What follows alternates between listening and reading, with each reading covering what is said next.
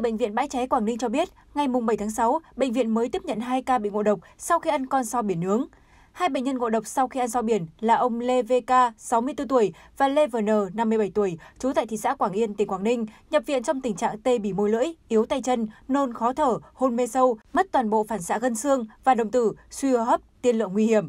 Ngay sau khi tiếp nhận, các bác sĩ bệnh viện bãi cháy đã khẩn trương thực hiện các biện pháp cấp cứu thải độc, hồi sức tích cực theo phác đồ như thông khí nhân tạo, thở máy, bơm than hoạt tính, rửa dạ dày. Qua 24 giờ điều trị tích cực, đến ngày 8 tháng 6, hai bệnh nhân đã qua cơn nguy hiểm, chỉ số sinh tồn ổn định, có ý thức phản xạ cơ, tay chân đáp ứng y lệnh của bác sĩ. Bác sĩ chuyên khoa 1 Nguyễn Thế Hưng, trưởng khoa hồi sức tích cực bệnh viện Bãi Cháy cho biết, độc tố so biển tác động mạnh lên thần kinh, đặc biệt là liệt, ngoài ra còn ảnh hưởng đến tim mạch và tiêu hóa. Chỉ với liều độc rất thấp, có thể gây rối loạn cảm giác như tê môi, lưỡi, tay chân, liệt các cơ vận động, cơ hô hấp, giãn đồng tử, nôn, đau bụng, tiêu chảy, có thể gây rối loạn nhịp tim, tụt huyết áp, khiến bệnh nhân nhanh chóng rơi vào tình trạng suy hô hấp, thiếu oxy não, tổn thương thần kinh, ngừng tim, ngừng thở, thậm chí tử vong nhanh chóng nếu không được cấp cứu kịp thời. Các bác sĩ khuyến cáo người dân không ăn các thực phẩm chế biến từ con sao biển để tránh những trường hợp đáng tiếc có thể xảy ra, gây nguy hiểm tới tính mạng.